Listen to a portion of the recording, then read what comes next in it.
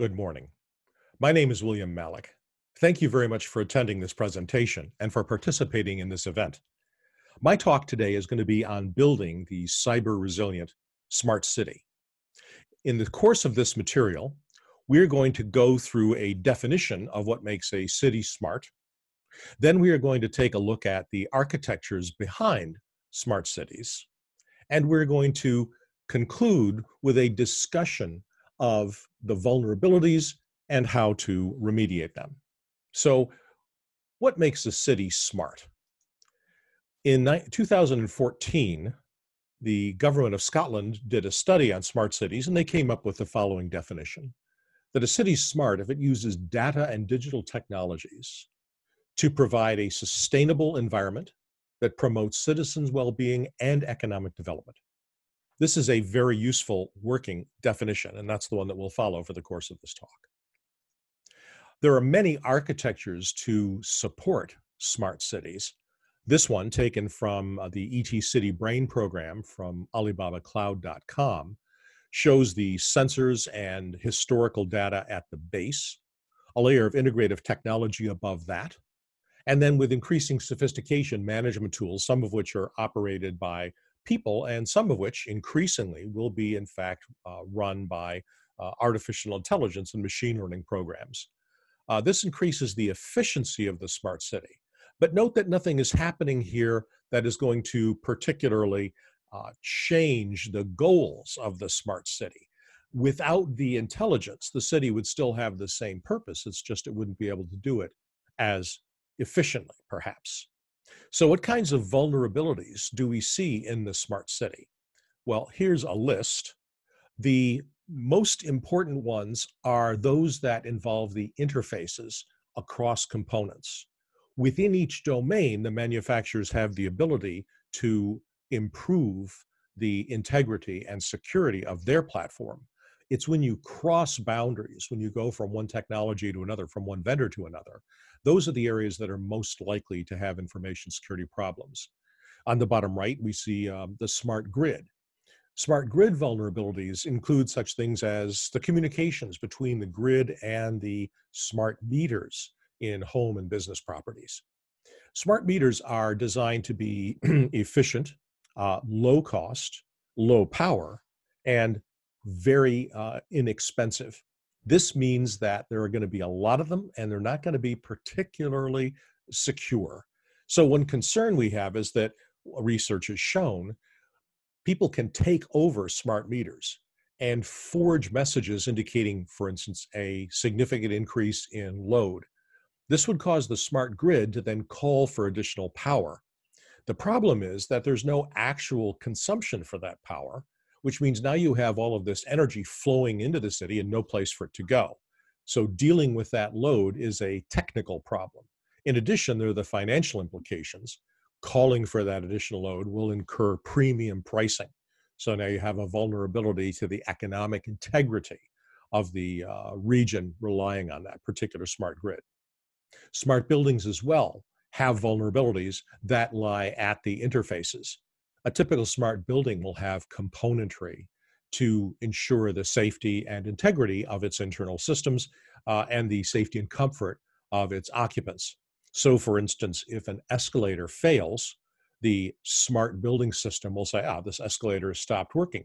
But understand that the escalator itself is engineered well. It will come to a stop smoothly. And when it stops working, it'll be locked in place. What that means is the people who are on the escalator are not likely to be thrown about. And it also means that the escalator can still be used as a stair.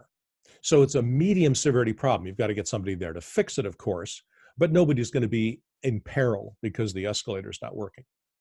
Similarly, if an elevator fails, that would be a high severity incident, but not because the elevator is going to fall. The technology for elevators has been around a long time they don't drop. But locked in place, it means that the people who are transporting in it will not be able to get out. So you want to get a crew there quickly to open the doors, help them get out of the place, and then restore the operation of the elevator.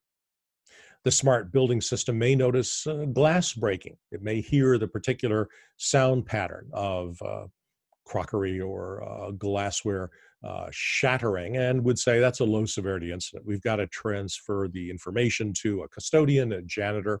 They'll come by with a bucket and a mop and pick up whatever liquid spilled and sweep up any fragments.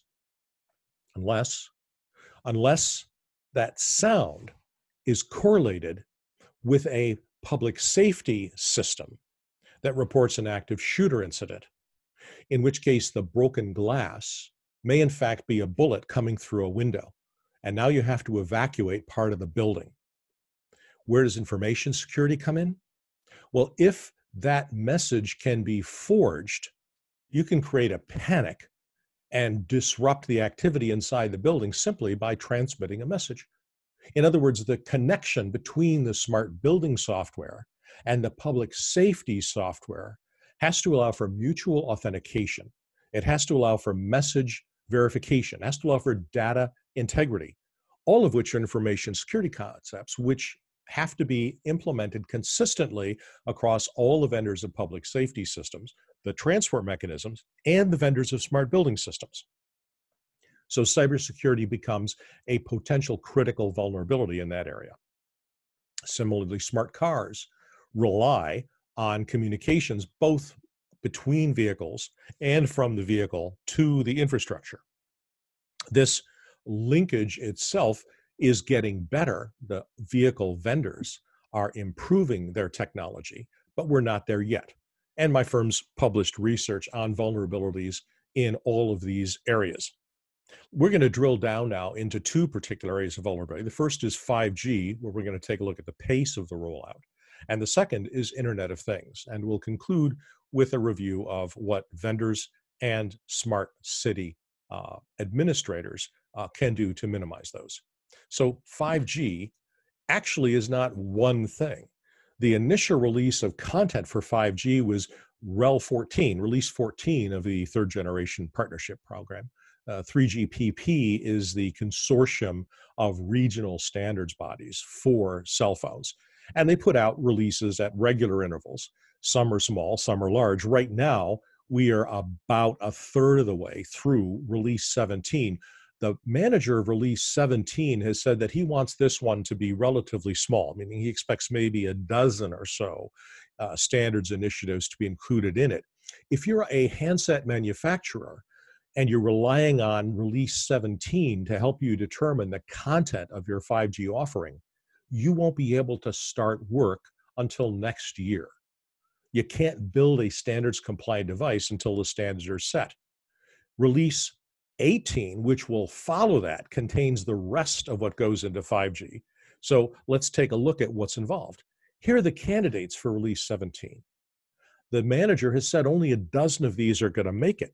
If you take a look at this list, a lot of things have to do with the new radio. That's the higher frequency technology. That's going to give us the incredible high transmission speeds and densities and very high quality that are components to 5G, especially in industrial applications. But note that only a dozen of these are going to make it.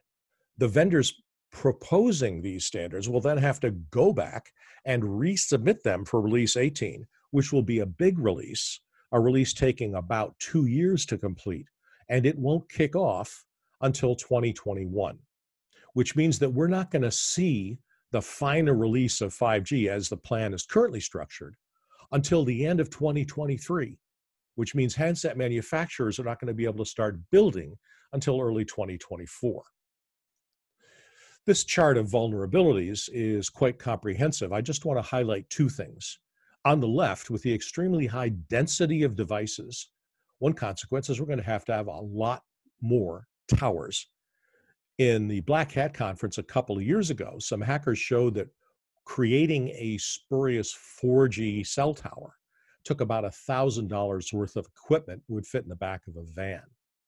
The towers for 5G are going to be so common. They're going to need to be so densely packed. You need a tower about every 100 meters in order to sustain the level of traffic and the density of devices.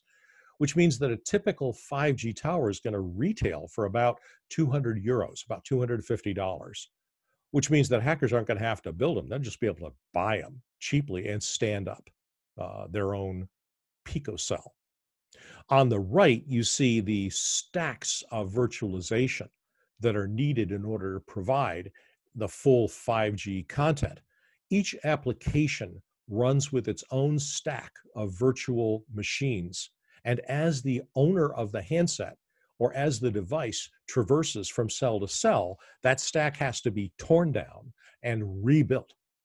Because of the density, we're talking a million devices per square kilometer, basically a device every square meter across the city on average. That's a huge amount of virtualization that's going to be stood up and torn down rather rapidly. And that level of complexity has never been experienced before. So on the left, we have the extremely inexpensive, affordable towers.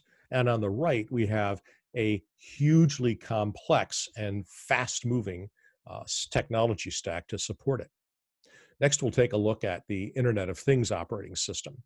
Uh, this is a, from an advisory that was put out earlier this year concerning the Urgent 11. Uh, this is a group of uh, 11 vulnerabilities uh, impacting the uh, TCP IP stack, the communication stack, incorporated in the VxWorks operating system. Now, VxWorks has been around for a long, long time, and this technology uh, has been incorporated in thousands of devices. The vendors listed here have all reported that they themselves include this technology and these vulnerabilities. And if you have an electronic copy of this presentation, you'll see that the underlined ones are in fact URLs that will get you to the website describing the kinds of specific vulnerabilities and remediation that are necessary. These systems have been in place for over 13 years. IoT devices live a long, long time. These vulnerabilities have been around over a decade. We see active exploits now, and it is important to get these things fixed. But this talks about the dependencies. Each of these vendors is not going to build their own TCP IP stack. Instead, they're going to rely on infrastructure, and a vulnerability in infrastructure will impact all of the devices. On the next chart, we see one of the consequences of these infrastructural dependencies. In April of last year, older GPS satellites reported an incorrect date. Uh, this is because they had a 10 bit counter, and the counter counts weeks, which means after 1,023 weeks, the counter rolls over. Well, the counter started in January of 1980. This was an architectural decision that was made over 30 years ago. And last April, it caused, among other things, Boeing 787s to report an incorrect date. Because the date was incorrect, the plane could not be certified as airworthy, and many were grounded on that day. Similarly, in New York City, the wireless internet that the city provided itself collapsed also in April of last year uh, because the city internet service depended upon time signals, which were tied to these older satellites. Now, the satellites can't be repaired in place. What they did was simply roll the counter forward, which means this problem will recur in 2038. In Toronto, Google's Sidewalk Labs program was canceled uh, because although the 100 plus acre development in the Quayside of uh, Toronto uh, was quite appealing, the amount of information that was gathered created public mistrust and therefore, the town decided to put a halt to this particular smart city initiative because of privacy concerns. So, what can we do? Well, this is a program that the state of Rhode Island is standing up to provide trustworthiness and strengthen civic participation. A citizen in Rhode Island can call 311 if they believe their computer is under cyber attack. They don't have to be a business, they can be an individual. Anyone in the state can call this in. The call goes to a call center staffed by students who then provide answers, giving the consumer, the business, a level of security, giving the students practice, and giving the state awareness of the existence of such an attack. This kind of activity can build support can build awareness and increase transparency. So here's some recommendations. First, city administrators need to make sure that whatever they do can be clearly understood. They have to respect privacy and provide for transparency. Vendors need to make sure their technology supports message authentication, encryption, and integrity. Here we have a list of references. Those of you who need a copy of the presentation can reach out to conference organizers or myself at Trend Micro. Thank you very much for your time and attention.